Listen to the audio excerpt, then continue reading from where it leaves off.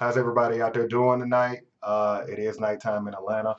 Uh, once again, Corporate Fiction City Boy live from Fort Lauderdale, Florida. You can always check out the website, cityboysareus.com.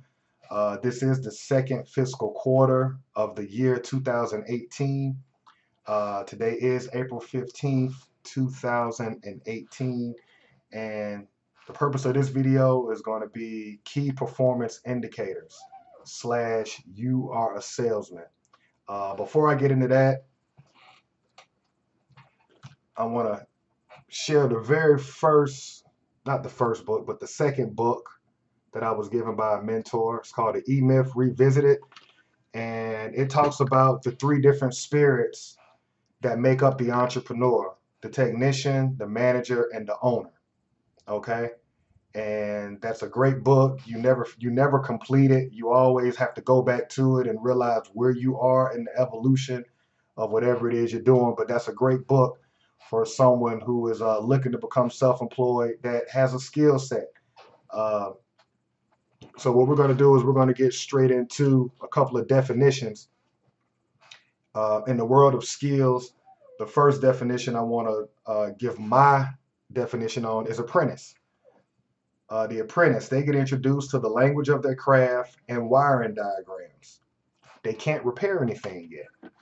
So typically an apprentice will uh, get introduced to the language, wiring diagrams at the trade or the technical skill level, or they may, you know, get slid through the crack and get on the job training. But nevertheless, you're just learning the language of whatever industry you're in. You're getting familiar with schematics or wiring diagrams, but you can't repair anything yet. Anybody that has a skill set knows that the person coming fresh out of school or the person that's attempting to get on the job training, they don't know anything. And uh, if you can't perform the task at the skill level, then ultimately you can't sell. You can't fix anything you can't sell. So that's my definition of apprentice. Nothing wrong with being an apprentice. We all have been there. We all have to start and we're green. Some people call you grasshoppers. But yeah, that's basically, uh, you don't know anything yet. You got a piece of paper saying that you've gotten basic training or basic fundamentals taught to you, but actually going live with it and actually applying what you've learned in a real world environment, you have no clue at this point. Uh, the next level is going to be the craftsman. They are good at a particular craft. They have good skills in wiring diagrams and can perform major or minor repairs. They join technical associations and fall in love with their craft's language. Self-esteem and confidence are above average. They can sell repairs below average.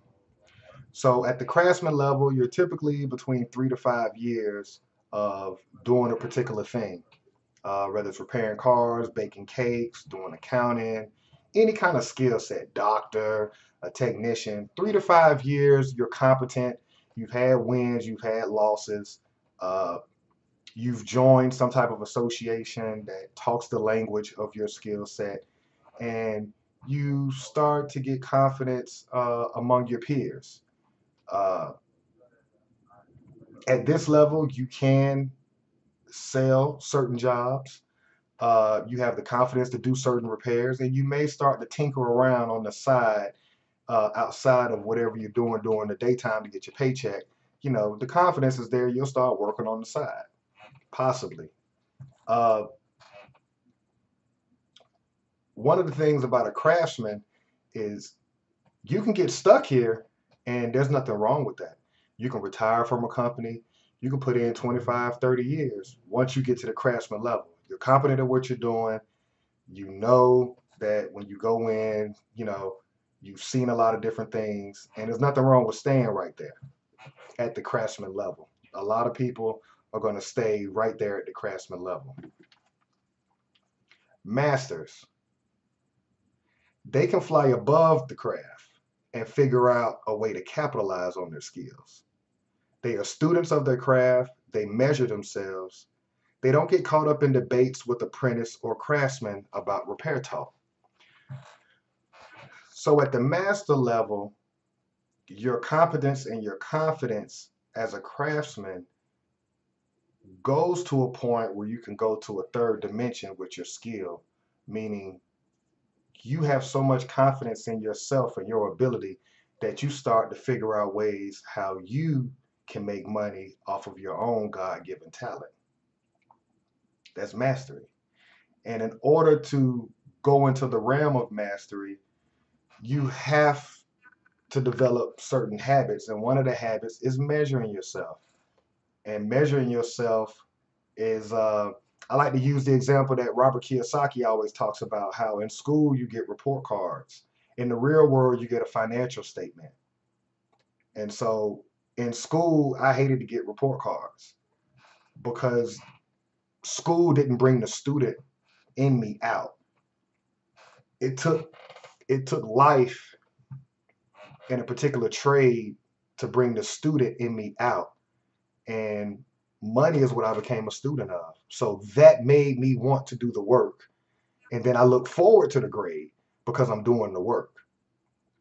So at the mastery level, here's where the key performance indicators come in because in order to be good or great at what you do, you have to weigh yourself. I say put yourself on the scale. You got to weigh yourself. Another way of saying it is you got to inventory yourself or you got to do key performance indicators. You got to look at what you're doing.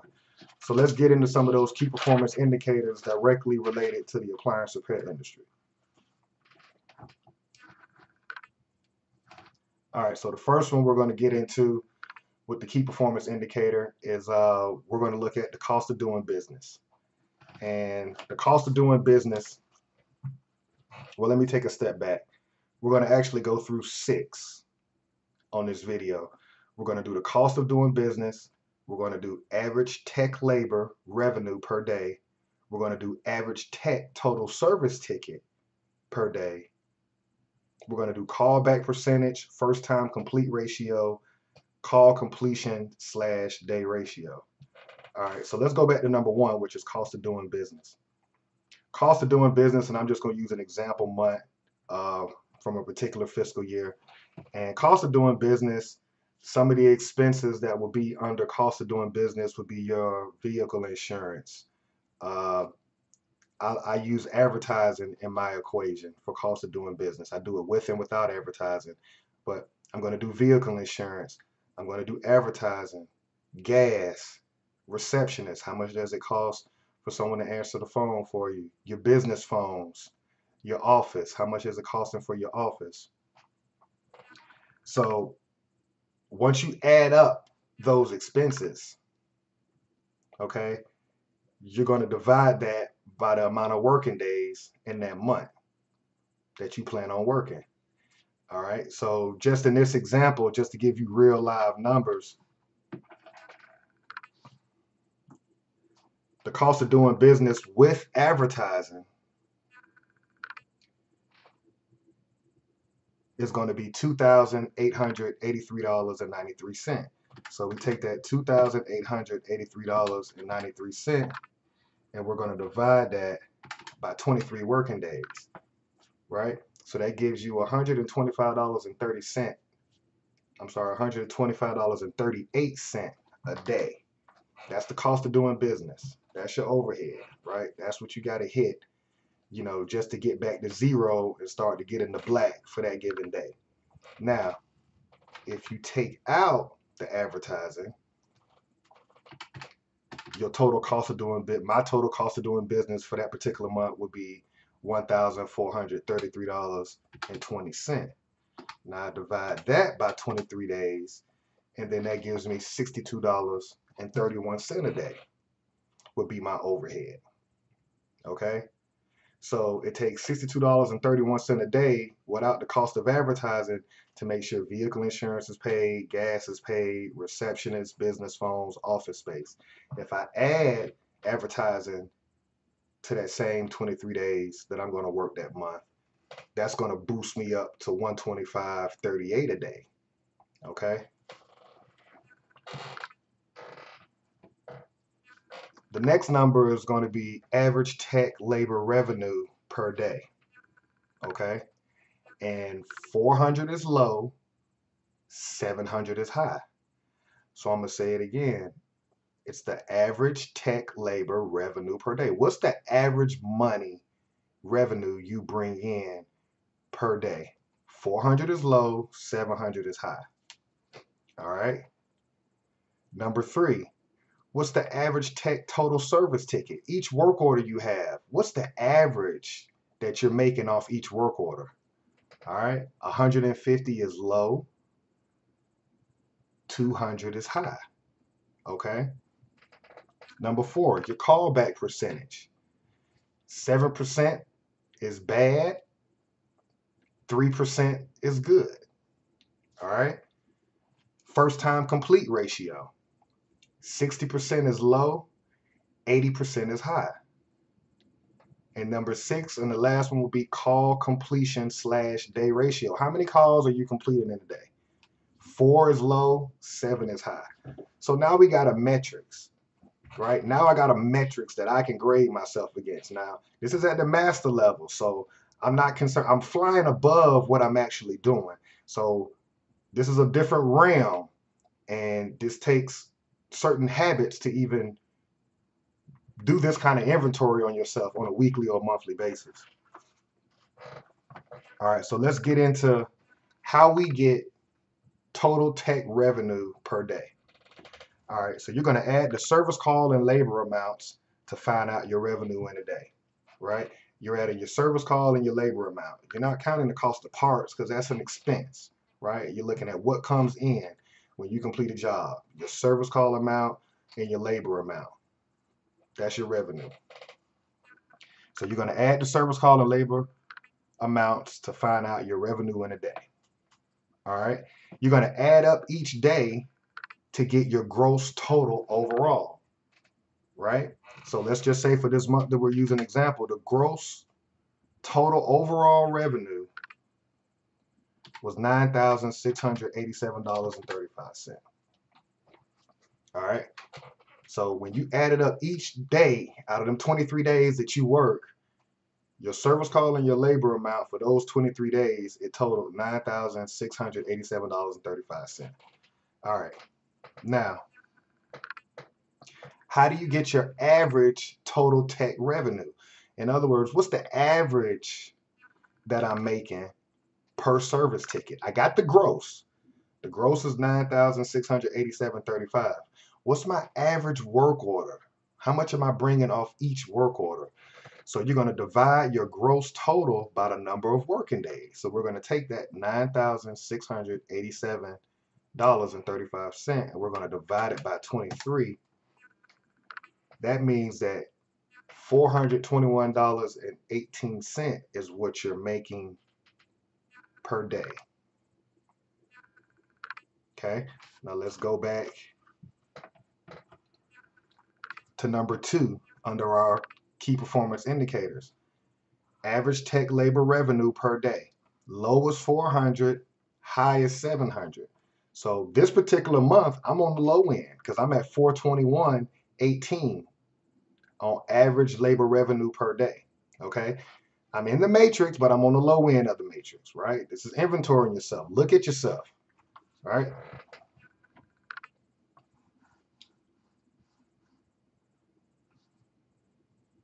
Now what we're going to do is we're going to get our average per work order.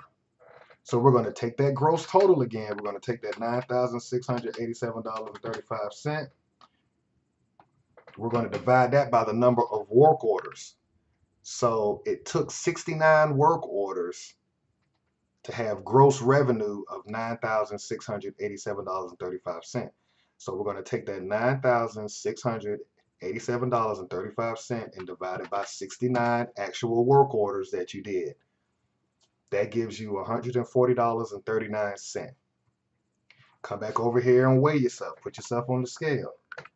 Average tech total service ticket. Low is 150. High is 200. Again, you're on the low end, right? I'm only doing a hundred. So each work order, I'm making $140.39. That's what the math is telling me. Remember, the language of business is accounting. The language of business is math, holding yourself accountable. So we're looking at this.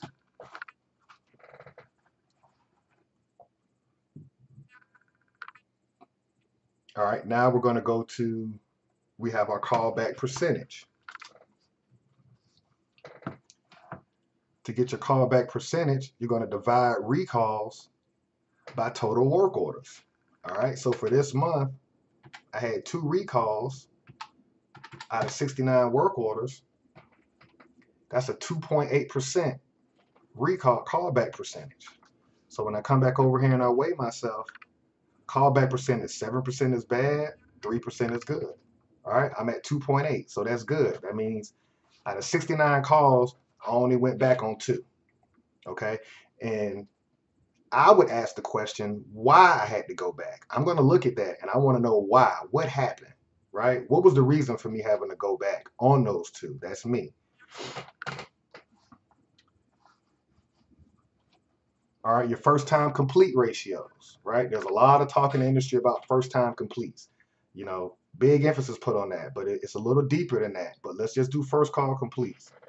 First call completes. Take the number of service tickets completed the same day and divide by the total number of work orders. Okay. So when I go back through those 69 work orders, how many of them did I complete the first day? It was 64. Okay. So 64 divided by the 69 total work orders, that's a first time complete of 92.7%. Okay. So then you come back over here and you weigh yourself. First time complete ratio, 60% is low. High would be 80%. I'm at 92.7%. All right. So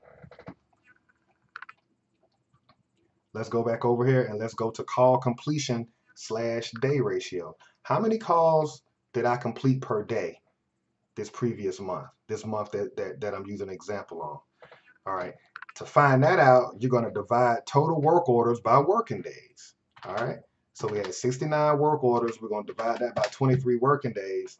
So I was doing three calls a day, right? So you come back and you weigh yourself. Call completion slash day ratio. Four is low. If you're running four calls a day, that's low. Seven is high, okay? I ran three calls a day, okay? So I'm on the low end on that, right? Based on the metrics. Now, the reason why I'm sharing that with you is number one, analyze your work because the numbers tell a story. See, there's a story behind these numbers. Okay, I'm running 92.7% first call complete for that month, right? My average labor revenue per day is at 400 a month. I'm sorry, 400 a day, right? and my average service ticket is about 140 okay so the reason why you want to look at yourself is a master is going to ask certain questions to become more efficient and more profitable. Okay? That's how I look at it. That's that's that's part of the inventory process. Number two think about ways to improve your score slash numbers. Remember business is an intellectual sport. So at the end of the day, it's about accounting. The language of business is accounting. So if you're running calls every month and you're good at what you're doing, you're at the craftsman level, you're good at repairing, but you're never stopping and inventorying yourself. You're never looking at, you know, where are you weak at? You know, how, you know, how can you get better? You know, how did you get, you know, to that gross amount in revenue? And, and how much did you keep? And why didn't you keep more? Right? These are certain questions that you ask when you start to weigh yourself or do an inventory on yourself. Concentrate on how much you keep and how can you keep more. Okay? That's that's that's mastery, right? We're looking at ourselves. We're grading ourselves. Number four, analyze how many service calls were ran with no upsell. Okay? So out of that 69 calls, 36 of them was strictly service calls. So now some of the questions that I might ask myself as a master is, you know, how did I go, how did I run 36 calls and I only walked away with a service call? You know, what, what appliance did I look at? You know, how did I not sell a box of Affresh? How did I not replace the water hoses on a washer? You know, how did I how did I walk out that house with five opportunities to provide service or share information which allows me to provide service. These are questions that you got to ask yourself if you're trying to maximize and become the best that you can be, right? Because I'm looking at this and now I got to take that 36 and I got to break that out and I got to look at, okay, how many of those 36 calls did I actually just go on and it was the temperature control setting wasn't set properly in the refrigerator. Okay. So did I adjust it to the normal recommended setting? And then I just tell that customer, let's give it 24 hours to see if it'll cool properly and walk out the house. If so, then I sucked as a salesman. Okay. Because I left five other machines in that house and I never asked the question. Or did I ask the question? You know, are you having issues with anything else? You know, where was my salesmanship when I went on that service call? So there's always there's always going to be ways to look back at what you did in order to capitalize more for the following month. And it always comes back to why was there no upsells? Again, going back to just the strictly the service calls. You know, why didn't I pick up a PM on the dryer? Or why didn't I do, you know, uh, a, a diagnostic on the dishwasher or the washer? You know, how did I walk out as a master? I'm not concerned with running eight to 10 calls a day, right? I play the game for keeps. So what a lot of guys do is they want to get busy, right? They want to run the workload that they're used to running with the big major company, right? So they want to they got that habit. They're, they're used to running seven, eight calls. The master sits back and says, you know what? If I charge accordingly, I can run half the calls. And if I show up emotionally and the salesmanship is there, I can get more and keep more and do half the ripping and running around the city that the craftsman and the apprentice does. And so a lot of times what happens is we get in business and we have this concept that I got to get more, I got to get more, I got to get more, I got to keep a guy busy, I got to I got to stay busy. I need to keep my workers busy. And in reality, that's not the case. In reality, if you slow it down and if you focus on the indicators, I can cruise around, go to three different houses, and if I work it right, I can go to three different houses, stay in each one of those houses two to three hours, working on multiple appliances, and still finish that day with great numbers. So I wanted to share this information. Uh, I feel that there's a lot of things that correlate with key performance indicators. Number one is charging accordingly. Uh, when you weigh yourself and you look at what I shared in the beginning with these key performance indicators, and when you do the math on any given month for your own service that was provided, be honest with yourself. That's one of the things that I've realized in life, not only in business, but in life. A lot of people don't like to look at themselves. So we won't do financial statements. If we won't do a financial statement four times a month, right? Then how are we going to do key performance indicators? We don't have the habit of looking at ourselves. What we'll do is we'll blame the customer. You know, oh, I hate when customers do this or do that. That's the wrong way to look at it. If you're really looking at yourself, you'll start asking yourself, how how can I get over that objection when a customer asks this or a customer asks that? How can I get over that objection to get them on the side of trusting that what I'm sharing with them is information that A, they didn't know, and B, they may need to go ahead and get the service that I'm that I'm informing them about. So this is just some information that I wanted to share with y'all. Uh, again, I look forward to any kind of uh, input or feedback that anybody may have based on the information that I've shared. But this is part of my ritual. These are things that I do on a weekly and a monthly basis. I'm always weighing myself. I'm all, and, and we didn't even really get into the financial statement side. Okay, all of this correlates to the financial statement, but we didn't get into the financial statement side. That's a whole, but it's, it's the same thing. You got to get in the habit of looking at yourself. You got to get in the habit of being accountable. You got to get in the habit of looking at yourself. And what I found out, this is one of the biggest secrets that I just shared in this video, is you look at all the masters, the Michael Jordans of the world, the Tiger Woods of the world, the Kobe Bryants of the world, any profession, they're doing these key performance indicators. They're weighing themselves. I like to look at it like this. If we're all on a professional sports team, right? I'll use football for example. There's 53 players in the locker room. Five of them will be all pro and make it to the Pro Bowl. The rest of them are pros. They're all getting checked. They're craftsmen. The rest of them are pros, but five will make it to the Pro Bowl off that team. Are you going to be a Pro Bowler or are you just going to be on the team? Being on the team is the equivalent of being a craftsman. If you're going to be a Pro Bowler, that means you're going to be a master, which means you got to hold yourself accountable. You got to weigh yourself. And you have to set goals so that your ship, you know where you're headed. A captain always knows where he's going. You ask a captain of any ship, what's the destination? He's going to tell you Haiti, Cuba, Jamaica, South America, Africa. He knows where he's going. If you don't know where you're going, then what happens is you drift. You start off at the harbor straight, and then you start drifting. And before you know it, you never make it to Jamaica. You never make it to Haiti. You never make it to Puerto Rico. And you look up and you ask yourself why because you never was weighing, you never were inventorying yourself on a regular basis to make sure I'm on track. There's a whole lot of stuff that happens within a week on a tactical basis. You're in people's houses. Some things, you know, parts discontinue. There's all kind of things that happen, but you got to stop at the end of the week. You got to weigh yourself. You got to inventory yourself, right? Get yourself back on track. Keep the goal in mind. And if you if you keep that mindset in life and in whatever profession that you're in, You'll just keep going.